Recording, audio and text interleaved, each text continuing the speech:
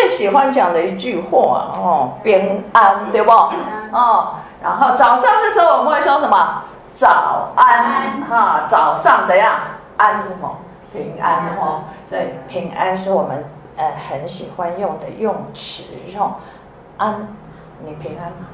平安，你有平安不？哇，哇，啊，什么叫做平安？什么叫做平安？没有生啊，没有生病就叫平安哟。还有呢？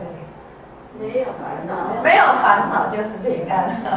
哦，哇，最近哦，哦，有个人说，一年三百六十五天，你收获的生活是什么？我只想说，人生再苦再累，其实只要这样平安，平安的好啊，吼，对不？尤其现在的疫情哈，我们千好万好，平安就好哈。祈愿你平平安安、健健康康，好不好？这这是也是我们每天牵挂的，就是你的平安哈，远离病毒怎样？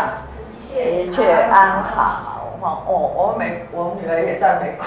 哇，我本来三月要去美国，机票都买好了，结果结果这个疫情开始产生，那我要在诶那个韩国转机，那那个时候韩国开始有疫情，美国还没有哦。那我是怕我转机把病毒带到美国去，那增加他们的麻烦，因为我又没有保险什么的嘛，所以我那个时候是担心我把疫情带去。所以一直在观察，观察很久，结果没想到是美国疫情现在越来越严重，所以要赶快把机票退掉，不敢去嘛。他每次跟他们通话的时候，唉，讲的话就是有没有平安，好不好，对不对？哦，因为唉，美国疫情现在是真的很恐怖，他在德州哦，那是重灾区哦，哦，所以只要你们平安就好哦，啊。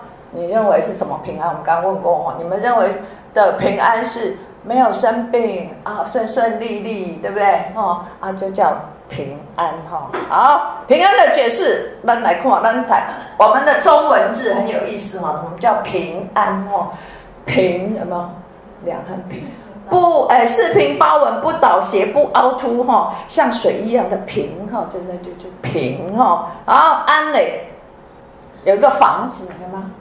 哦，我们中国字很有意思哈，啊，然后有一个女人所以：“妈妈，哎，不是小朋友，每次回来第一句话就妈妈，妈妈在哪里？”有一次，那个爸爸坐在客厅，然后那个小朋友一回来就说：“妈妈在哪里？”那老爸很生气说：“你没有看到我吗？你没有先叫我一声啊！” 重来啊，小朋友就出去，一进来就说：“爸爸好。”然后下一句：“妈妈在哪里？” 啊，所以家有一个女人。感觉就很安稳，对不对？因为很多事情都是妈妈在打理哈。那好，这是中国字哈。啊，圣经我去查平安，中文只有平安两个字哈。可是，在英文的里面，这个平安有很多的意思哈。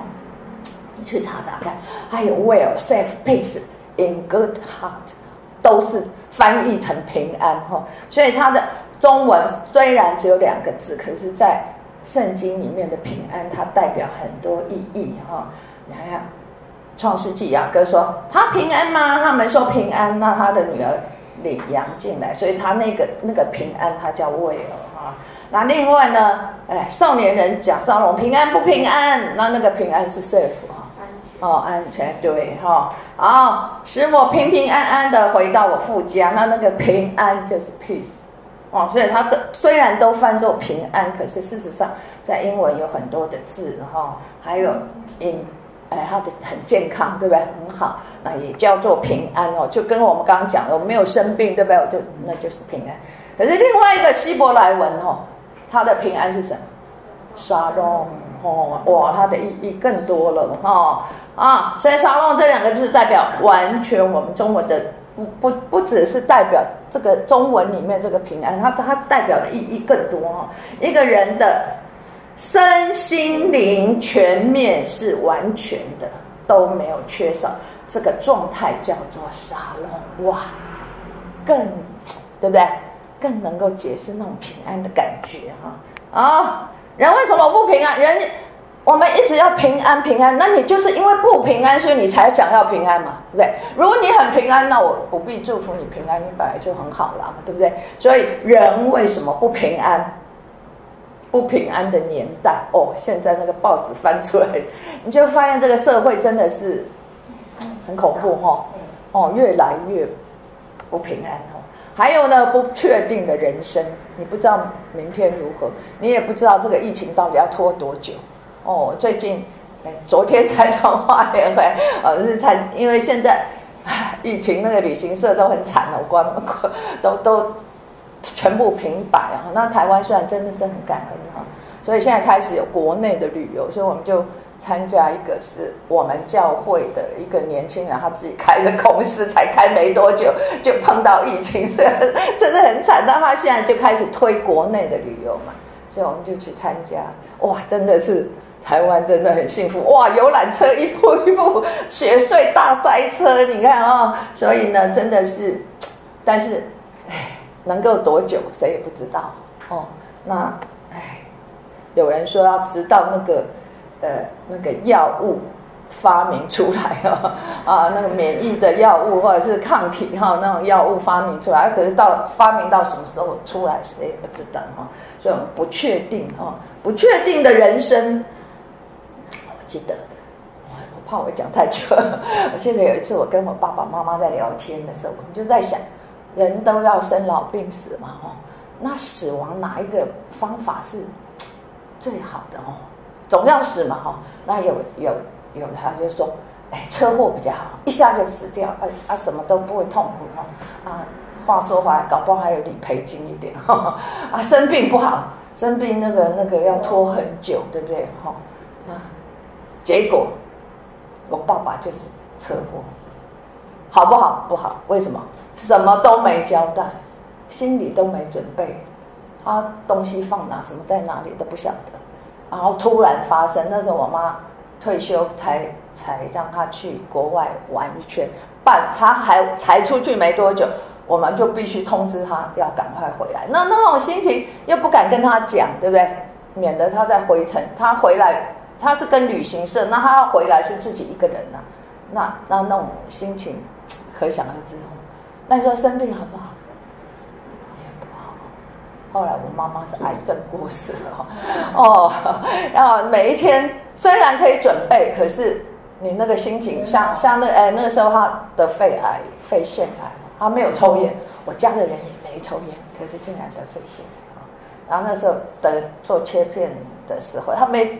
肺腺癌没有症状的，嗯，没没什么症状，也不会痛，也不会，只有一点点喘，所以等到发现的时候，多半都是末期。然后他就问医生说：“那我可以活多久？”医生说：“半年。”他就直接跟他讲半年，不过真的半年后来走。所以每天他起床的时候就说：“感谢神，让我又可以看到太阳。”所以其实你不觉得每一天？现在是二零二零，今天几号？七月二六。请问，二零二零的七月二十六的现在十点半，好，假设十点半，请问你这一生可以过几次的二零二零七月二十六？一次，一次。你不觉得每一天你只能活一次的今天，对不对？所以你真的是要珍惜每一天，你能够呼吸。你们能够看到太阳，能够看到阳光，你都应该要感恩，因为你不知道明天如何。好，当你失去平安的时候，你会怎样？身心灵都会出状况，开始紧张，对不对？睡不着觉，心跳加速，血压上升，强迫行为。不平安的时候，我看有人那个门关了一次，还要再锁，啊，再再，我就曾经看过有人哈。就他要拉好几次，他要出门一定要锁完，他要拉好几次，然后他才敢出去。啊，瓦斯炉要看过好几次有没有关，所以他就没有平安嘛，他担心嘛，啊，所以他会重复行为，然后最担心的是免疫力就下降。好，你你没有平安，你睡不好，吃不好，你不喜乐，对不对？喜乐的心就是什么？良药，那你就不喜乐，不喜乐的时候，你的整个免疫力就下来哈，流汗、口干、肌肉紧绷，对不对？哈，酸痛、容易加坐立不安、失眠，这都是我们身不平安的时候，你心身体就会产生的一些状况。那心理呢？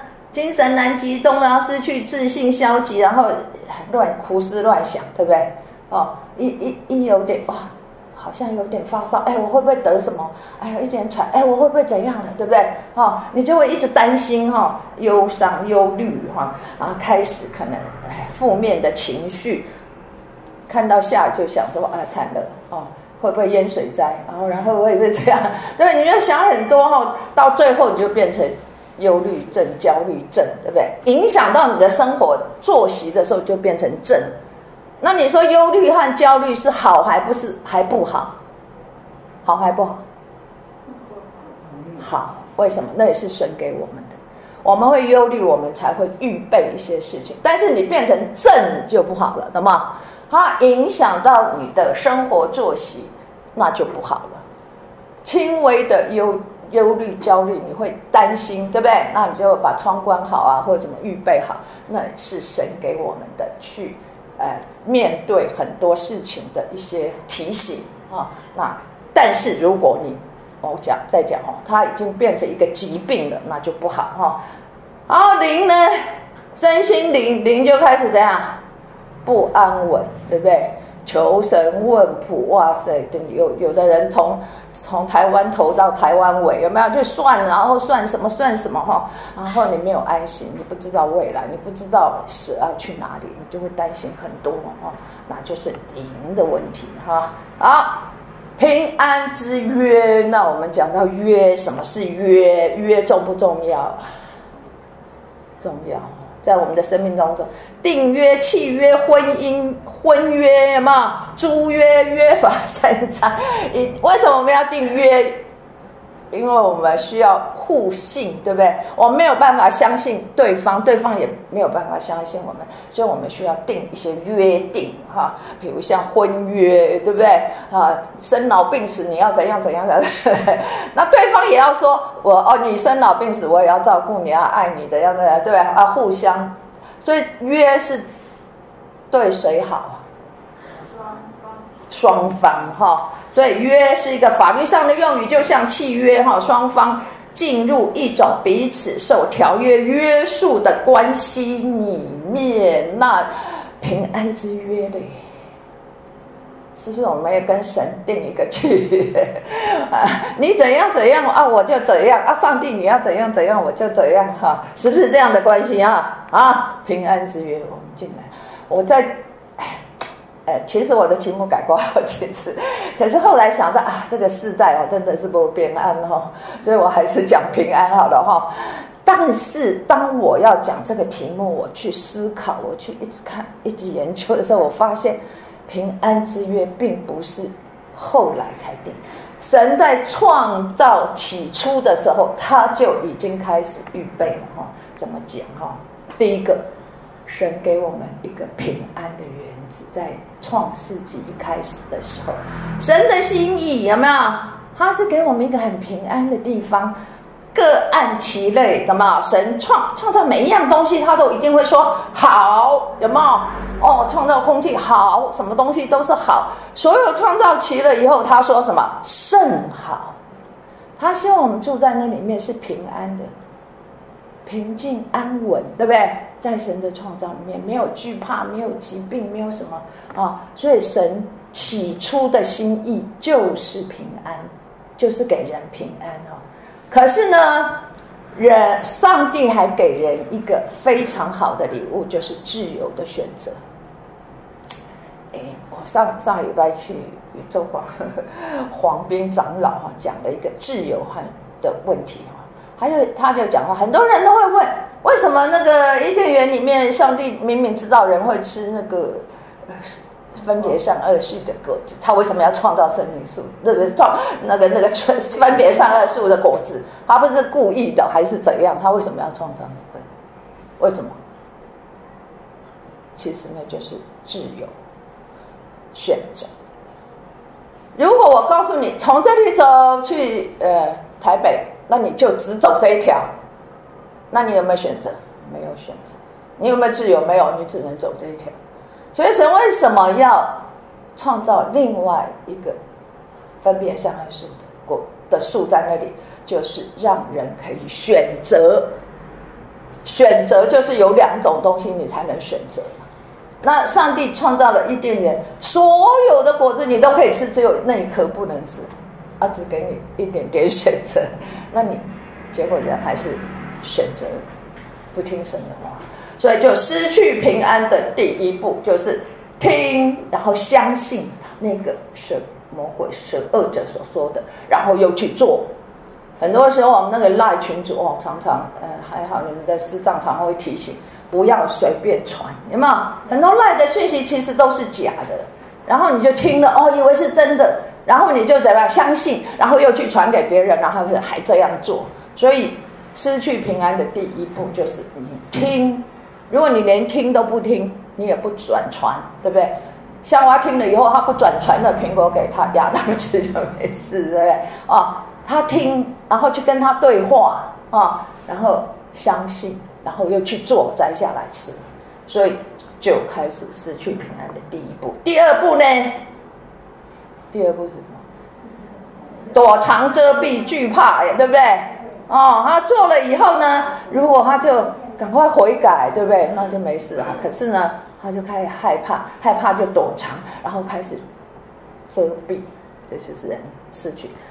为什么他会害怕呢？如果他做得好，他干嘛害怕？那些小朋友们，妈妈说不要吃那个，对不对？啊，那个，呃，回家先做功课，不要先看电视啊。那个桌上，呃，蛋糕等一下不要吃哈，或者是怎样，叫他不要做。可是他去做了，对不对？做了以后，他就会害怕，害怕是知道错误，他才会害怕。他如果不知道错误，他不会害怕。所以其实惧怕是知错的反应。是没有平安的表现。那躲藏呢？是知错的错误选择。你会害怕是正确，你因为你知道做错了，所以你会怕。可是你做错了以后，你去躲藏，对不对？那就是你错误选择。你如果做错了，你去承认你做错了，那那就没那就没事了哈。所以躲藏遮蔽是错误的决定。哦，不敢面对，不愿意面对，哈，最使人失去神同在的荣光，所以赤身露体会怎样羞耻，所以他要用树叶遮蔽。神创造人的时候有神的荣光，因为像神嘛，因为按照神的形象，所以他没有那个荣，他有荣光遮盖在他的身上，所以他并没有羞耻。但是当这个荣光退却的时候，就怎样？赤身入体就羞耻，所以他就用树叶来遮盖。哦，这是 第三步呢。哦，更惨 哦，用人的智慧，因为他说吃了那个果树那个。蛇告诉他：“你吃了以后就会像蛇啊，不对，像神一样的聪明有智慧，对不对？所以他吃了以后他就有智慧了。可是这个智慧是怎样？推卸责任、反驳、狡辩、回避、死不认错，不是我，这不是我哈啊！很多小朋友们打打破了瓶呃花瓶，就说不是我，不是我，对不对？哦，夏娃亚当也是这样，夏娃吃的时候，他不是我，是蛇叫我吃的。”亚当说：“是你创造那女人叫我吃的，好，大家都没有错哈，都不是我哈，啊，死不认错。如果，所以这就是人的智慧，好有智慧啊，都不是，都跟我无关，这就是人的智慧哈，不会去用神的智慧，就是这样承认，对不对？悔改，那是神的智慧啊。”自此，人选择用自己的智慧管理大地，改变大地，管理自己的人生。越管越好，还越管越糟？越管越糟。人好有智慧哦！我我古早时阵，妈妈买菜、嘿买把，拢是呃超收啊，绑的有无？哎呀，好没智慧啊！那绳子一下就断了，那不不方便，所以人就。很有智慧，创造塑胶袋哦，塑胶袋多好用，可是结果嘞啊，环境污染，对不对？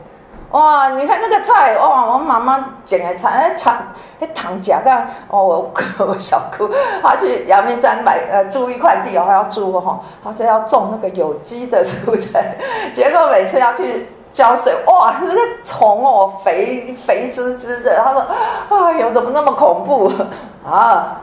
肥滋滋的，所以那个菜叶都被那个虫吃掉。所以人很有智慧哇，发明什么农药，喷一喷，虫都死掉了。结果呢？结果自己想了，对不对？哦，所以上帝要人用管理，他把所有的世界大那个园子都交给人管理。本来是按照神的律管理是很好，可是呢，人吃了分别善恶树之后，他用人的智慧去管理，就发生问题了哈。吃的日子怎样？必定是必定是啊，这就是我们的不想面对又必须面对的问题：生存、年老、生病、死亡，这么几个问题，你最怕的是哪？都很怕，然后哦啊，开始平安之约第二，这个时候，上帝就开始他的平安计划了。上帝真的不会说，哎呀，好吧，你爱爱这样，那你选择你你你可以你可以洗洗可以啊，我才会。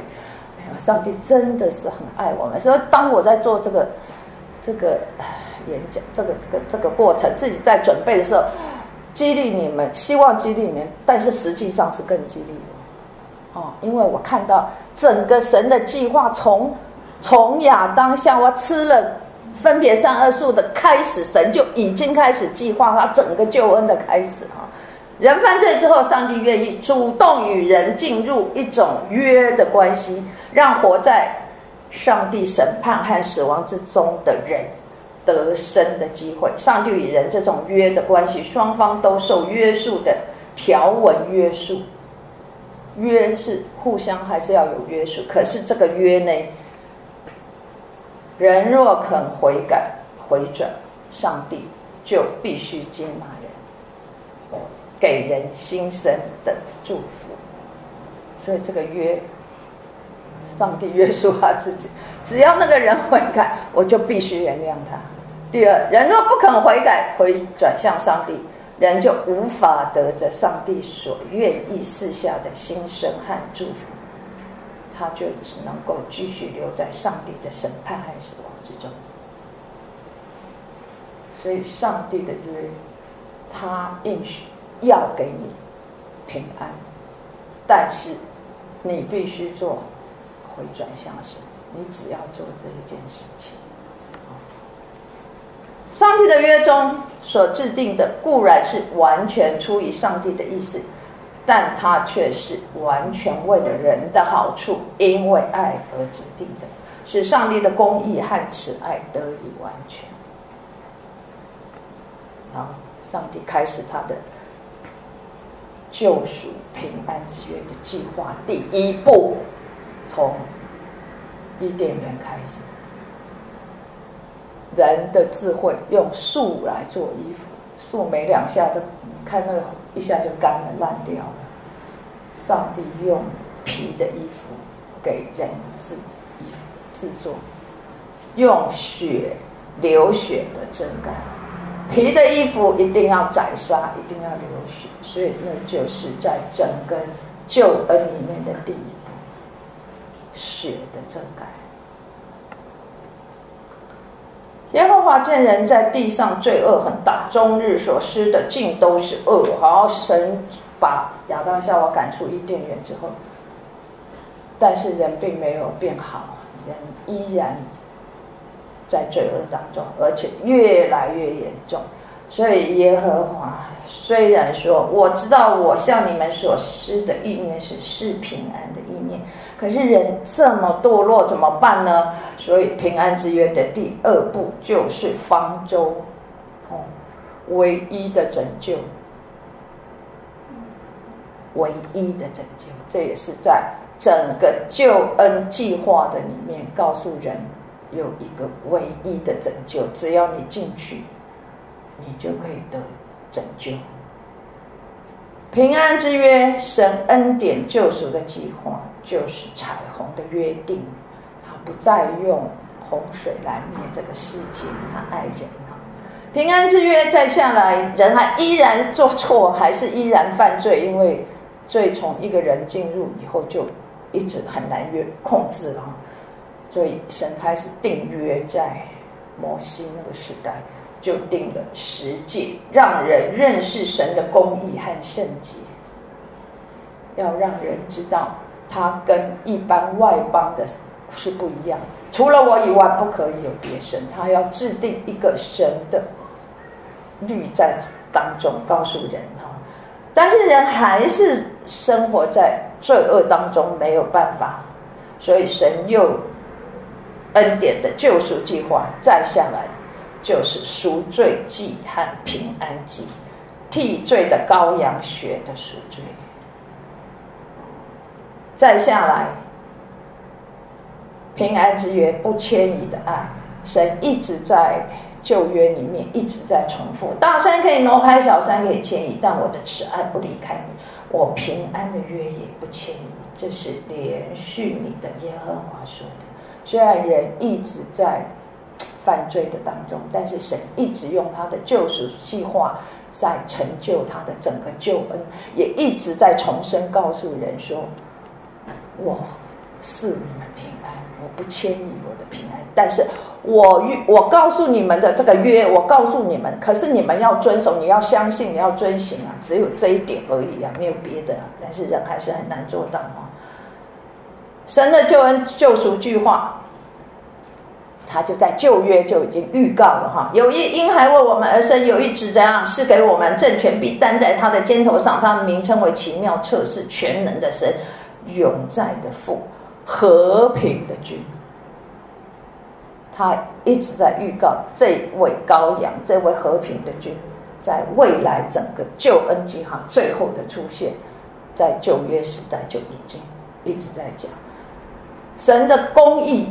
人没有办法达到，但是神要告诉人，他是祭邪的神，他一直要重复。为什么十诫需要定定这么定出来？就是要告诉人，他是一个公义的神，他不是欠欠在在。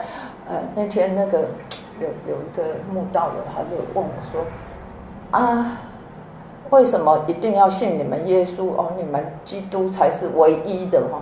啊，这这世界那么多都是行好事，啊，信宗教都是一样，都劝人为善啊，都是好的。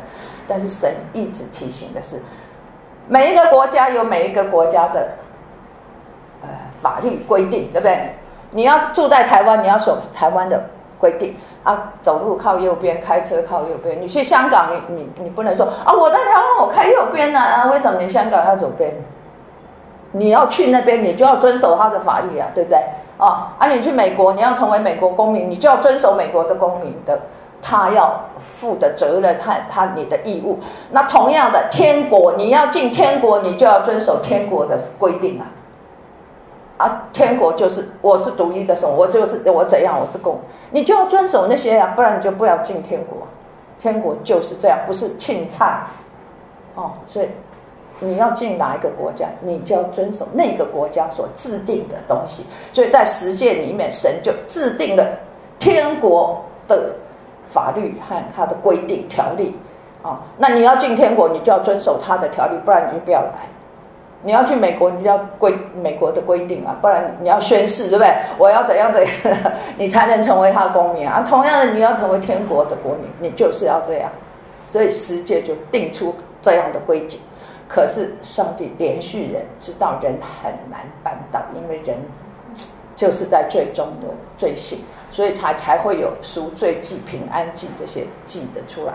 然后好，然后但是神还是一直告诉人有一个平安的君要来哈。好，神又兴起了世师，有了君王。然后又又兴起了很多的先知，一直在预告很多的救恩，很多神的心意哈。可是人一直都没有去遵行这样的，好没有听进去哈。三分钟热度，然后没两下又又又偏离了哈。所以呢，神的恩典救赎计划后来沉静沉默了四百年沉默不等于沉睡都不做，不是哦。沉默只是旧约最后旧约最后一篇马拉基书和新约的第一篇马太福音记载的事件点相隔四百年，所以神我们又称它叫沉默的四百年。可是事实上神。并没有停止他的救恩计划。耶稣说：“耶稣对他们说，我父做事到如今，我也做事。所以神一直都在做事。哦，他并没有沉睡，他只是沉默，不再讲话。因为我讲了，你们也不听，对不对？所以我先不不讲了哈。啊，所以开始四百年后进入新的约定啊。”耶稣是平安生命的主，我们一起来念这一段《路加福音》二章十四节，在什么？至高之处，荣耀归于神，在地上平安归于他所喜悦的人。《路加福音》三章二十二节，圣灵降在他身上，仿佛鸽子，形状仿佛鸽子，又有声音从天上来说。你是我的爱子，我所喜悦的。所以，耶稣开始降生。上帝也宣告，在至高之处，荣耀归于神。他，耶稣这一位爱子，他是荣耀归于神这一位。他降世到世上来，成为人，是神所喜悦的。哦，他。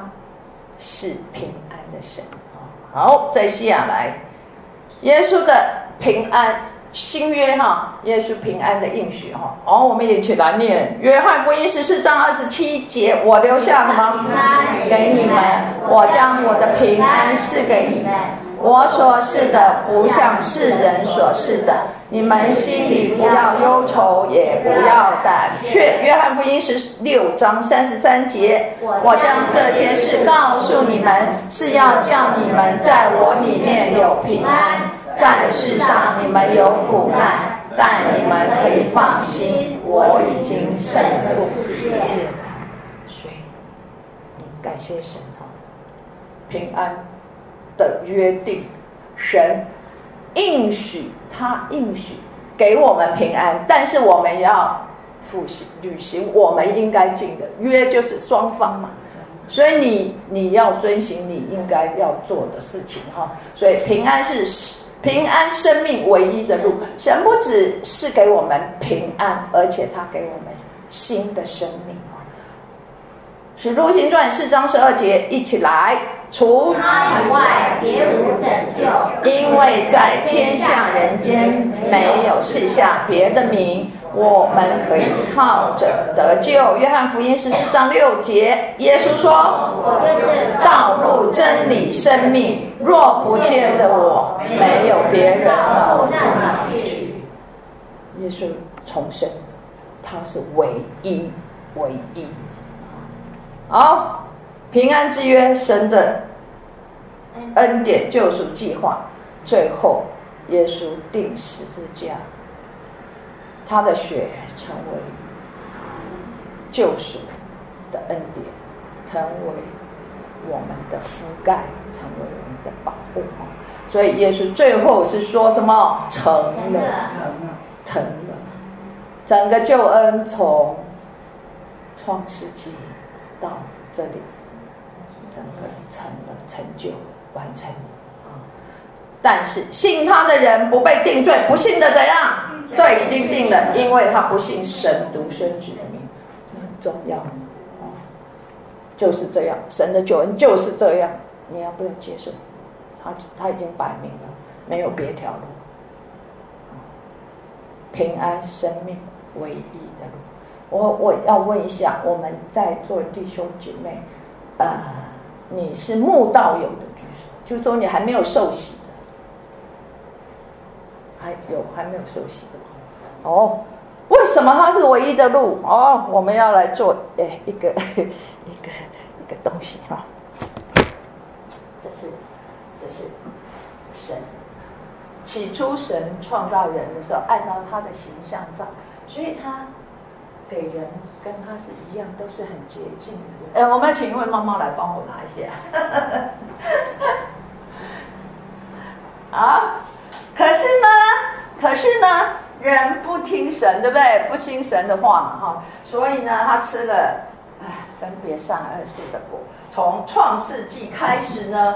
罪就进入人的里面，然后呢，从亚伯有没有？哦，那时候就开始哇，那个就开始杀戮了哈啊，然后开始说谎哦，嗯，你我又不是在管我我弟弟，我怎么知道他在哪里哈？就开始进入，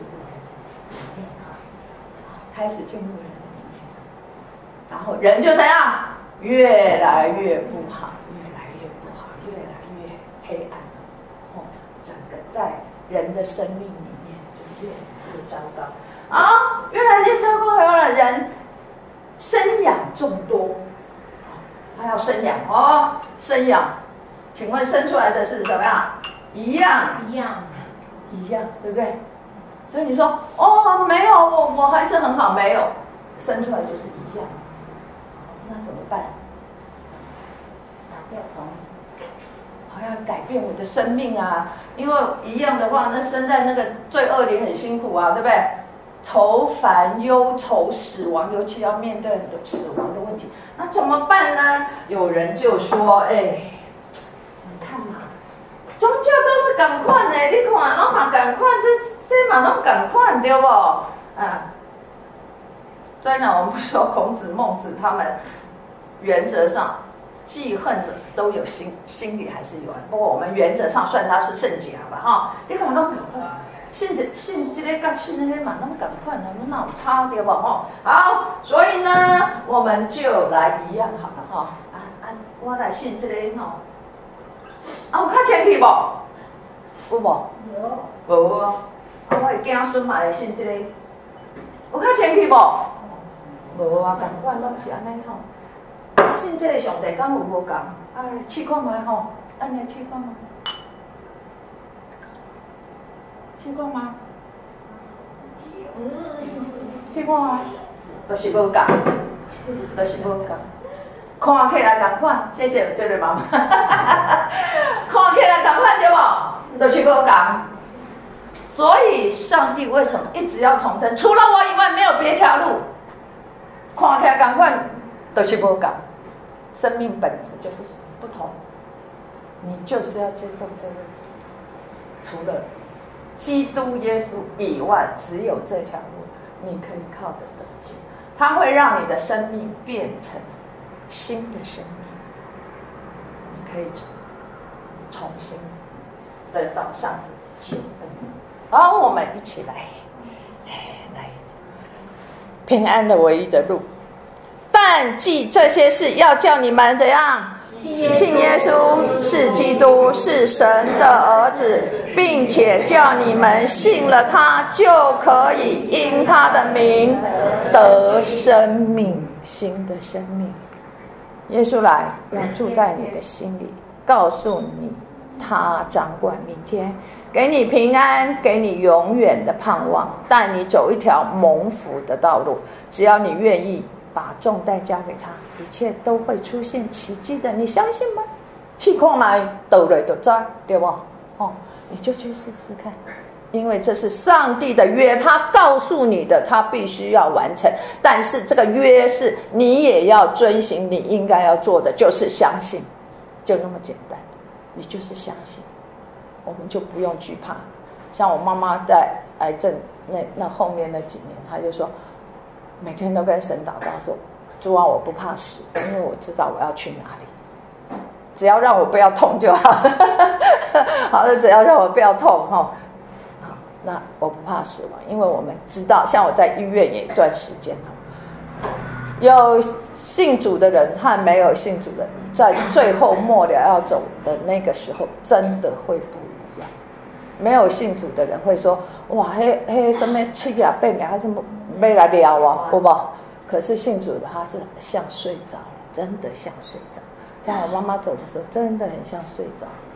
啊，有的人走的时候，那个惊慌恐惧，脸还发黑的。哦，所以上帝允许那条道路，你只要接受，就倒下去，你就是整个改变了。你愿意吗？也许你信了很久，你只是诶理智相信，没有从你的内心来接受啊。愿愿我们在这个不确定的年代、不确定的人生的当中，我们真的是要依靠神。我们真的不知道怎样选择是正确的。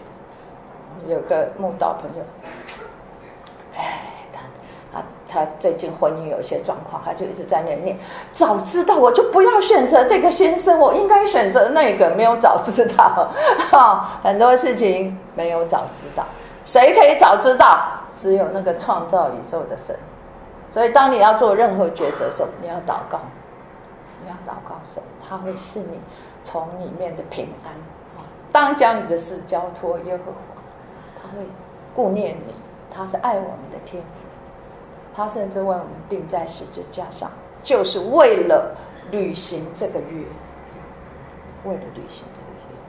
我们一起做个祷告。如果你愿意，真的从心里来告诉神，告诉这位天父说：“我愿意接受你成为我一生的救主。”我愿意试试看，把我的生命倒在你的福杯里面，让我的生命改变。你愿意的时候，请你这时候举起你的手，举起你的右手来对上帝说：“说我愿意，我愿意把我的一生交在你的里面，因为你从创世以来就一直爱我到如今，这么感谢你。举起你的右手。”跟神说：“我愿意，我愿意成为你的宝贝，我愿意接受你的救恩，我愿意接受你为我在十字架上所流出的。主，谢谢你，谢谢你在一直永远不离开我。主，在这个不变的世代里面，在这个千变万化的世代里面，在这个不确定的人生里面，主，我们真的不知道明天如何，但是。”我们知道，我们的明天就在你的手中。我们就是你的宝贝，祝你带领我们往前一步一步的走。主，谢谢你，谢谢你爱我们，我们愿意把我们一生交在你的手中。主，谢谢你，愿我们一生成为你的宝贝。祷告，奉主耶稣基督的圣名。